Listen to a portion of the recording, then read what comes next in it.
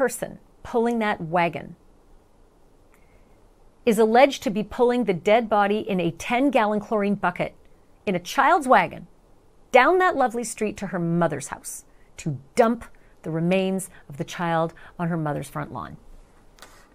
And the woman, police say, is pulling that wagon is Hannah Landon. Uh, it was kind of traumatic for everybody, um, you know, especially seeing her with the children and so forth.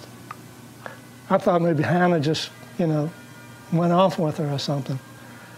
And then later I saw uh, my neighbor across the street, Josh. Said, Josh, hear anything about uh, Hannah and, uh, and, and uh, Bella? He said, yeah, they found her.